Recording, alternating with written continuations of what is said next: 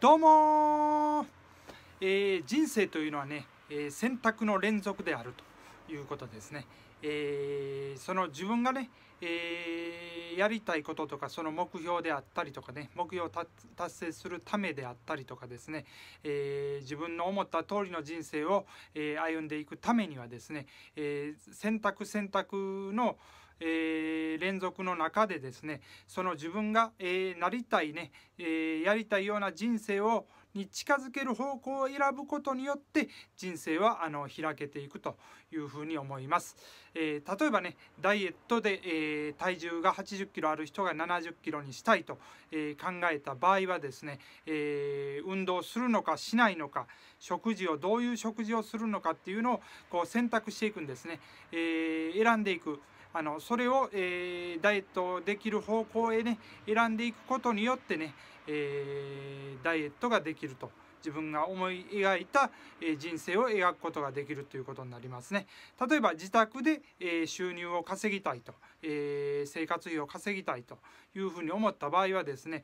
どういうふうにすればいいかっていうことをえー、こう選択していくというだから結局、えー、リサーチしてですね、えー、例えばプログラミングがいいと考えた場合はどうやって習得するのかとか、えそのその勉強方法はどうしたらいいかとかその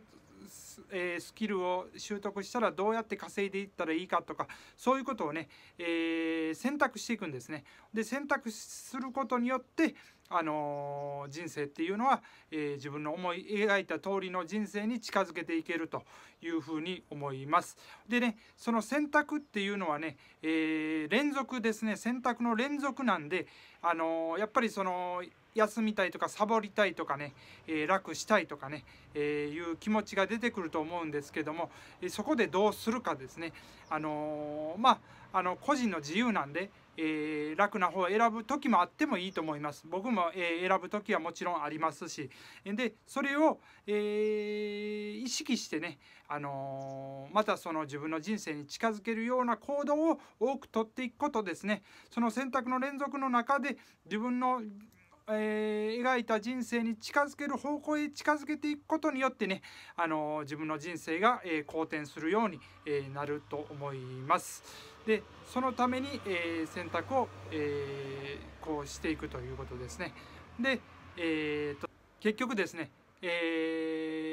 えー、他人の人生は変えられないんですけども自分の人生は変えられるんで、えー、その選択の連続によってね自分の人生を変えていくように、えー、持っていってください。ということで、えー、人生は、えー、選択の連続でその結果が今の自分であるということを、えー、お伝えしました。ということで、え今日の動画は以上となります。ありがとうございます。